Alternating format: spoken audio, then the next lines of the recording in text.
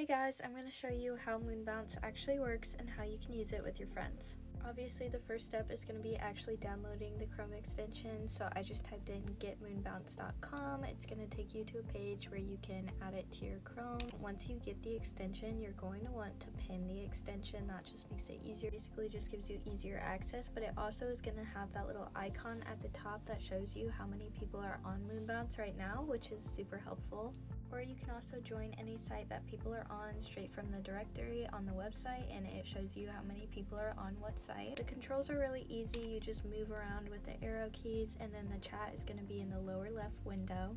I love it as just a fun way to stay in touch with my friends. Adding friends is really easy, you can just click on their character and click the little add button in the corner and add new people as friends and you can signal to your friends to have them join whatever website you're on. It's super easy to navigate, you can literally signal and join your friends whenever you want on literally any site that you want and it's just so fun. I also use it all the time with my long distance boyfriend to watch shows together but I don't like seeing like all the people. It can be kind of distracting so I'm going to show you guys how you can actually change it to only show your friends. Also they have this cool feature where you can basically go around collecting loot and then you can go back to the website and then you can actually scroll through and buy different things to customize your character like this cute little bow. I'm literally obsessed with that. Also craft different recipes from the items you equip to get even more. And of course, if you guys have any questions or any problems navigating the website, you can just join the Discord, which is linked in the website, and ask your questions there. Hope this helped. You can join the Discord if you have any questions, and thanks for watching.